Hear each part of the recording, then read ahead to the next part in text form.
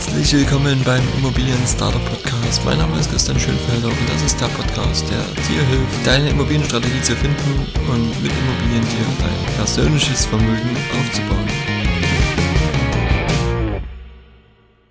Folge 6. Für die Finanzierung ist es noch viel zu früh. Das Thema unserer heutigen Folge. Herzlich willkommen.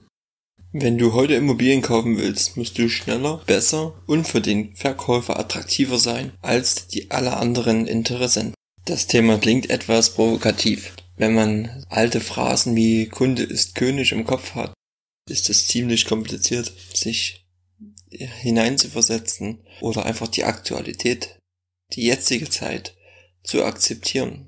Wie komme ich da auf dieses Thema? Geplant war eine ganz andere Folge, aber in der letzten Woche sind zwei Kunden auf mich zugekommen und haben eine Frage, die ich ähm, digital einsammle, gleich bewertet. Also mal ganz kurz zum Prozess. Natürlich gibt es Inserate bei Immobilien Scout, Immonet etc., woraufhin sich Interessenten melden und das jeweilige Objekt oder die Immobilie anfragen. Wen ich nicht sofort erreiche oder wer mir keine Telefonnummer hinterlässt, den sende ich einen Link mit einem Formular, wo so die ersten Fragen abgeklopft werden, dass ich mich etwas vorbereiten kann. Natürlich auch dann die Telefonnummer, um ein ausführliches Gespräch zu führen. Damit ich aber nicht ganz unvorbereitet in das Gespräch reingehe, frage ich so schon die eine oder andere Frage mal ab. Eine Frage dabei ist die Frage nach der Finanzierung. Ob derjenige Interessent sich Gedanken über sein Budget gemacht hat oder unter Umständen sogar seine Finanzierung schon stehen hat. Ich bin mir jetzt gar nicht so richtig sicher, wie ich reagieren würde, wenn da ein Nein kommt. ich habe ähm, schon verschiedenste Antworten erhalten, aber jetzt kam gebündelt zweimal die Antwort, dafür ist es noch zu früh. Also die Frage lautete, haben Sie sich ein Budget gesetzt oder bereits mit Ihrer Bank eine Finanzierung abgesprochen? Und die Antwort lautet, dafür ist es noch zu früh. Natürlich muss auch ich an meiner Fragestellung arbeiten, denn wenn jemand eine Finanzierung an dem Punkt seiner Anfrage für zu früh hält, geht er vielleicht auch davon aus, dass er einen kompletten Kreditantrag, also eine Finanzierung direkt angefragt haben soll. Das ist natürlich falsch verstanden, das ist vielleicht auch falsch gefragt. Hier muss ich noch etwas nacharbeiten.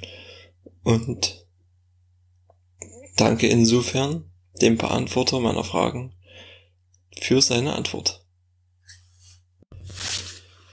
Wenn ich mich in den Immobiliensuchenden hineinversetze, kann ich diese Antwort vollkommen verstehen. Das ist auch ein Vorhaben, was viele Eigennutzer vor allem nur einmal im Leben machen. Und wenn jetzt gerade der Zeitpunkt ist, beginnt man sich jetzt damit auseinanderzusetzen und dann schaut man erstmal, was so alles Schönes am Markt ist, was verfügbar ist, zu welchen Preisen. Man malt sich seine Träume aus, vom Einbauschrank, vom begehbaren Kleiderschrank, von einem großen Fernseher, großen Wohnzimmer, begehbare oder eher bodentiefe Dusche mit einer Dreiecksbadewanne. So die verschiedensten Wünsche kommen und dann kommt die Realität, wenn man die Preise vergleicht und wenn man schaut, was überhaupt verfügbar ist. Und genau das ist der Blickwinkel, mit dem ich jetzt als Immobilienverkäufer auf diese Antwort schaue. Und genau dafür gibt es ja diesen Podcast, um hier einfach mal ein bisschen Chancengleichheit herzustellen, um hier die Aktualität und das Wissen und durchaus auch die ein oder andere Hilfestellung zu geben. Also wenn du dir eine Immobilie kaufen möchtest, wenn du dir ein Haus bauen möchtest und dafür ein Grundstück suchst zum Beispiel, muss eins von vornherein feststehen. Wenn das Objekt deiner Wahl vor dir greifbar da ist, musst du sofort den Sack zumachen. Sofort. Da gibt es kein Zaudern, kein Warten. Selbst eine Reservierung ist, sehr, sehr gefährlich. Wenn du die Wohnung haben möchtest, das Grundstück haben möchtest, sollte Finanzierung etc. stehen und du musst sofort kaufen. Weil das ist ein Gespräch, was ich sehr oft führe. Ich schätze mal alle zehn Tage. alle zehn Tage muss ich jemand vertrösten, ah, es tut mir leid. Leider gab es jemand, der genauso wie sie angefragt hatte, genau großes Interesse hatte. Wir konnten nicht reservieren. Er war schneller mit der Finanzierung und der Kaufvertrag ist jetzt schon erstellt. Notartermin ist dann in 14 Tagen. Lassen Sie uns doch noch einmal gemeinsam schauen, was verfügbar ist. Damit dir das nicht passiert, ist es ganz wichtig, dass du dich für den Verkäufer attraktiv gestaltest. Das heißt, du bist sofort einsatzbereit, schlagkräftig und kannst schnell abwickeln. Das ist das, was ein Verkäufer sehr, sehr mag. Natürlich auch, wenn du seinen geforderten Preis bezahlst. Das ist Grundvoraussetzung. Also, Preis steht, Finanzierung steht und wir können sofort zum Notar. Denn der Verkäufer entscheidet sich, etwas zu verkaufen und möchte das natürlich schnell abwickeln. Er möchte jetzt nicht nur ein halbes Jahr suchen, ein halbes Jahr anbieten, 10, 100 Besichtigungen machen mit seinem Objekt. Bietet es zum Verkauf an und dann soll derjenige, der es kaufen möchte, bitte auch kaufen. Diese Erwartung kannst du nur erfüllen, wenn du vorneweg deine Hausaufgaben gemacht hast. Deine Hausaufgaben in Form von Haushaltsbuch beziehungsweise eine Übersicht deiner Ein- und Ausnahmen, eine Übersicht deiner Einnahmen und Ausgaben, wenn du deine finanzielle Situation gut dokumentiert hast, der Bank dargestellt hast und bestenfalls mit dem Banker deines Vertrauens, mit einer Hausbank oder auch mit einem Finanzvermittler die Unterlagen zusammengesucht hast, die die Bank für den Finanzierungsantrag braucht. Die Bank kennt dich schon mal, sie hat deine Situation bewertet und ein Kredit wird in aller Regel auf zwei Beine gestellt. Das ist einerseits die Immobilie und andererseits der Kreditnehmer. Wenn man jetzt die erste, das erste Standbein, den Kreditnehmer schon beleuchten kann, da schon ein Gefühl bekommt, wie hoch darf der Kredit ausfallen und wenn die Immobilie, die du dir aussuchst, werthaltig ist, also vom Kaufpreis und vom von der Bewertung der Bank her über die Immobilie nicht zu weit auseinanderfällt, dann sollte die Finanzierung auch klappen. Nochmal zum Verständnis, hier geht es gar nicht darum, eine, eine Antwort auf eine Frage, die ich gestellt habe, zu bewerten oder zu diskreditieren. Mir geht es nicht darum, die Antwort einfach schlecht zu machen. Mir geht es darum, aufzurütteln. 2017 ist ein Verkäufermarkt. Das heißt, derjenige, der etwas zu verkaufen hat, macht die Regeln, entscheidet, wem er es gibt und wann er es ihm gibt. Hier kann man sich als potenzieller Käufer nur bestmöglich ins Licht setzen, in Szene setzen.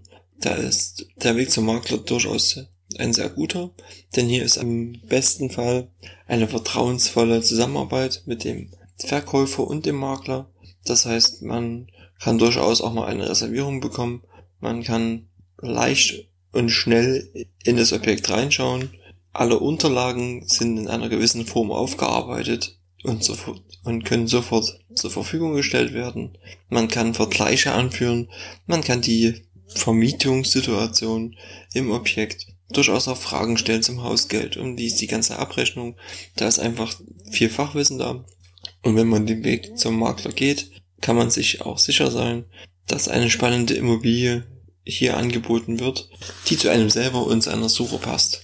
Und vor allem macht man gegenüber dem Verkäufer ein gutes Bild, weil auch die Vertrauensbasis zum Verkäufer natürlich voraussetzt, dass der Makler im Vorfeld unseriöse Anfragende einfach filtert. Es gibt so diverse. Der Verkäufer wird nicht mit jeder Anfrage belästigt, der Kunde ist vorselektiert und bestenfalls auch schon hinsichtlich seiner wirtschaftlichen Situation überprüft. Und einen Kunden, der mir schreibt, eine Finanzierung, dafür ist es noch zu früh, mit dem muss ich mich halt dann wirklich auseinandersetzen und mal hinsetzen und ihn aufklären. Das, und zwar der erste Schritt, bevor ich jetzt einen Mieter in seinem wohlverdienten Feierabend störe, am Wochenende belästige oder den Eigentümer mit unnötigen Fragen lösche. Die Finanzierung, deine Handlungsfähigkeit als potenzieller Kaufinteressent ist der erste Schritt. Dann geht's weiter.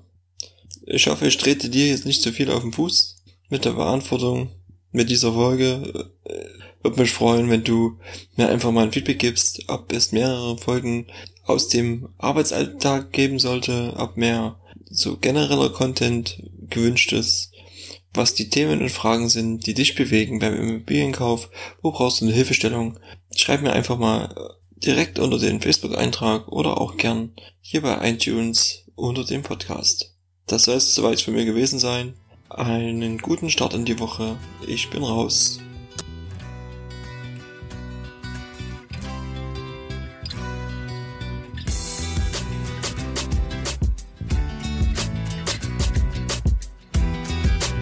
Soweit zum Podcast. Danke, dass du dabei warst. Ich freue mich, dich auch das nächste Mal wieder begrüßen zu dürfen. Die Shownotes zur Sendung findest du unter www.christianschönfelder.com slash blog slash isp 000. Also drei Ziffern und am Ende einfach deine Folge rein. Für die Folge 10 zum Beispiel 010. In der Zwischenzeit kannst du mehr über den Podcast erfahren auf der Facebook-Page. Hier liest du mehr zu den neuen Themen der Sendung, zu dem nächsten Interviewpartner und natürlich würde ich mich sehr, sehr freuen, wenn du mir eine Bewertung bei iTunes hinterlässt. Gern auch mit Rezession. Vergiss bitte auch nicht, den Podcast weiterzuleiten und die alten Folgen auf der Homepage zu checken. Schön, dass du da warst. Auf bald. Dir die besten Investments.